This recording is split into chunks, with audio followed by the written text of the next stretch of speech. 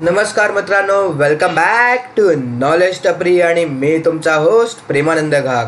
मित्रांनो आज आपण बघणार आहोत पेज साईज आणि print area page size actually काय असतं? पेज साईज म्हणजे मित्रांनो तुम्हाला तुमच्या त्या नावावरनंच तुम्हाला कळलं असेल पेज साईज म्हणजे एखाद्या पेजची कोणती स्पेसिफिक साईज तुम्हाला प्रिंटच्या वेळेला आउटपुटला हवी आहे. म्हणजे आपण एक्सेल शीटवर समजा एक इनव्हॉइस बनवलं आहे तर ते इनव्हॉइसचं आपण कोणत्या साईजमध्ये प्रिंटआउट घ्यायचं आहे तुम्हाला ए थ्रीमध्ये हवं असेल तर तुम्ही ते ए थ्रीमध्ये प्रिंटआउट घेऊ शकता. ए फोरमध्ये पाहिजे असेल तर तुम्ही ते ए फोरमध्ये प्रिंटआउट घेऊ शकता. असं कोणत्याही प्रकारे तुम्ही ते प्रिंटआउट घेऊ शकता. ते कोणतं प्रिंटआउट तुम्हाला घ्यायचं आहे ते घेण्यासाठी तुम्हाला पेज साईजचा हेल्प होतो. आता पेज साईज वापरण्याकरता पेज साईजचं ऑप्शन आपल्याला होमच्या बाजूला इन्सर्ट आहे त्याच्या बाजूला पेज लेआउट आहे. आणि पेज लेआउटमध्ये तुम्हाला पेजवर जेवढे पण सगळे ऑपरेशन्स करायचे आहेत त्या सगळ्या ऑपरेशन्सचे ऑप्शन्स तुम्हाला पेज लेआउटवर मिळतात. पेज लेआउटमध्ये गेल्यावर तुम्हाला साईज साईजच्या ऑप्शनवर तुम्हाला लेटर साईजमध्ये प्रिंटआउट हवा आहे. लिगलमध्ये प्रिंटआउट हवा आहे. तुम्हाला बँक स्टेटमेंट सर स्टेटमेंट हवा आहे. एक्झिक्युटिव्ह पेपरवर हवा आहे ए थ्रीवर हवं आहे ए फोरवर हवं आहे ए फायवर हवं आहे. हवं त्या साईजमध्ये तुम्ही तुमचं प्रिंटआउट घेऊ शकता.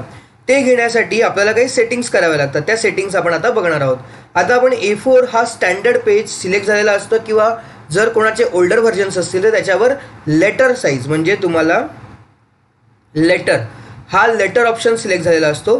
तुम्हाला तुमचं कोणत्याही जर तुम्हाला प्रिंटेड प्रिंटेड ॲक्टिव्हिटीज जर कोणत्या करायच्या असेल प्रिंटेड रिलेटेड कोणता एरिया तुम्हाला जर सिल वर्किंग करतो करायचं बनवायचं असेल तर त्यावेळेला कृपा करून तुम्ही सगळ्यात पहिली गोष्ट तुमच्या पेज लेआउटमध्ये जाऊन तुमच्या मार्जिन सेट करा तुमचं ओरिएंटेशन सेट करा आणि तुमच्या पेजची साईज सेट करा. कारण का एकदा तुम्ही लेटरवर सगळं वर्किंग केलं लेटर पेज लेआउटला तुम्ही वर्किंग केलं आणि नंतर जर तुम्हाला ते प्रिंटआउट ए फोरवर घ्यायचं असेल तर तुम्हाला तोवा भरपूर प्रॉब्लेम्स होतात. तुमच्या बऱ्याचशा मार्जिन्स आणि एरिया हलतात. तुमचा प्रिंटिंग एरिया हलतो.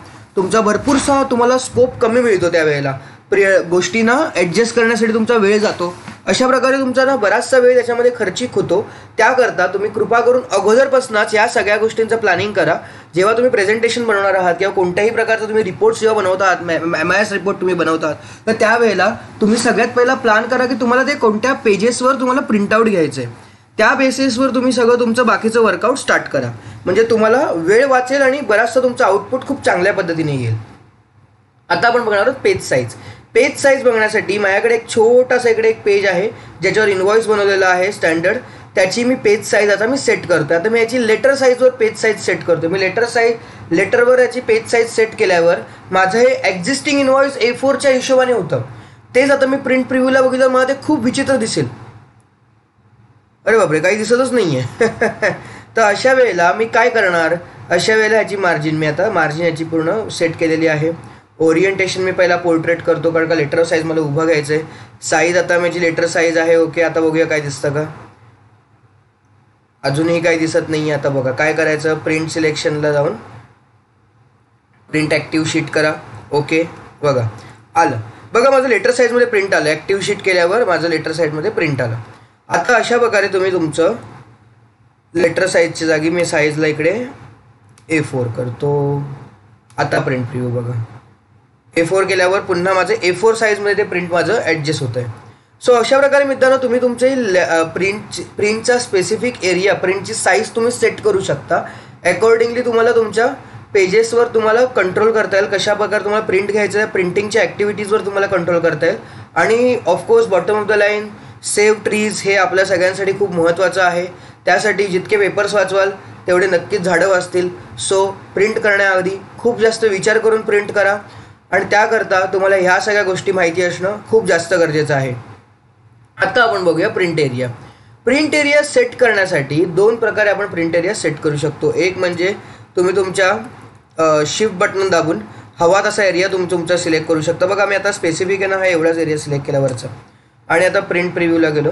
प्रिंट प्रिव्ह्यूला जाऊन मी आता इकडे प्रिंट सिलेक्शन केलं. तर माझा फक्त जो वरचा जेवढा मी सिलेक्टेड एरियाज आहे ना तोच फक्त प्रिंट होणार. बाकी काही प्रिंट होणार नाही. अशा प्रकारे तुम्ही मॅन्युअली करू शकता. अपार्ट फ्रॉम दॅट तुम्ही एक सुप दुसरा एक सुपर ऑप्शन आहे. तो म्हणजे प्रिंट एरिया प्रिंट एरियामध्ये सेट प्रिंट एरिया अशा प्रकारे तुम्ही एक तुमचा ए प्रिंट एरिया तुम्ही लॉक करून ठेवू शकता. म्हणजे आता मी हा एक पूर्ण इन्व्हॉइस सेट केलं.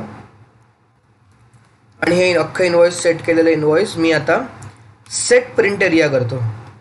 माझं हे प्रिंट एरिया आता लॉक झालं आहे आता ह्याच्या बाहेरचं काहीही प्रिंट होणार नाही. ह्याच्या आतमध्ये ह्या पर्टिक्युलर एरियाच्या आतमध्ये जेवढं काही असेल ते सगळं कंटिन्यू प्रिंट होत राहील. बऱ्याच वेळेला काही होतं. बऱ्याच वेळेला आपण प्रिंट एरिया लॉक करून टाकतो आणि प्रिंट एरिया लॉक केल्यावर आपण काही इन्व्हॉइसमध्ये चेंजेस करतो किंवा सायझेस वगैरे कमी जास्त करतो. त्यावेळेला आपल्या प्रिंटिंगला प्रॉब्लेम येतो. त्यामुळे प्रिंट एरिया लॉक करणं हे बऱ्याच वेळेला रेकमेंड मी करणार नाही.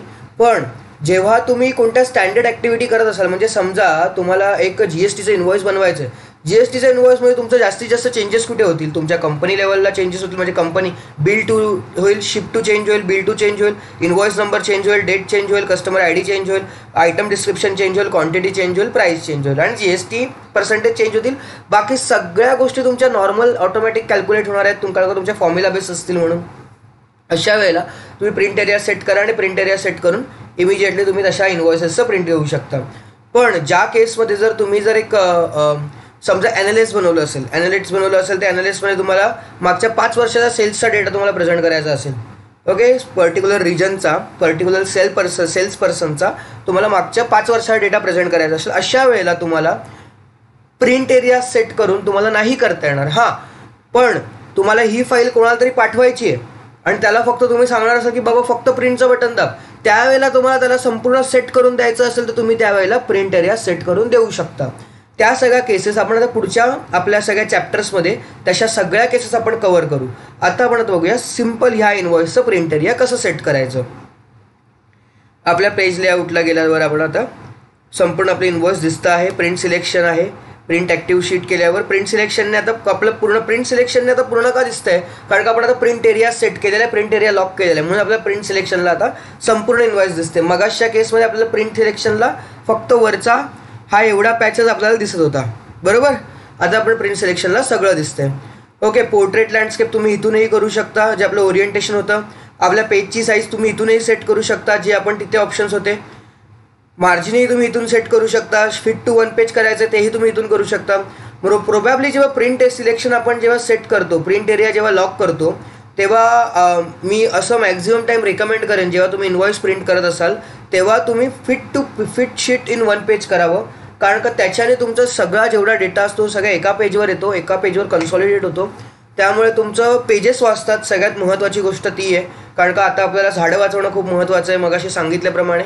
सो आपण त्या गोष्टींवर खूप जास्त फोकस केला पाहिजे की छोट्या छोट्या गोष्टीने आपण काही सोशल ॲक्टिव्हिटीज करून आपल्या प्रोफेशनल ॲक्टिव्हिटीजमध्ये पण खूप छान पद्धतीने आपण ग्रो करू शकू.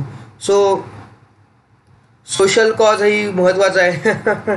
सो मित्रांनो अशा पद्धतीने आपण प्रिंट एरियामध्ये आपण साईज आणि प्रिंट एरिया अशा पद्धतीने आपण वापरू शकतो. सो मित्रांनो ह्या दोन व्हिडिओ ह्या दोन्ही ऑप्शन्समध्ये जर तुम्हाला कोणत्याही प्रकारचे प्रॉब्लेम्स असतील किंवा काही क्वेरीज असतील तर तुम्ही पोस्ट करून विचारा.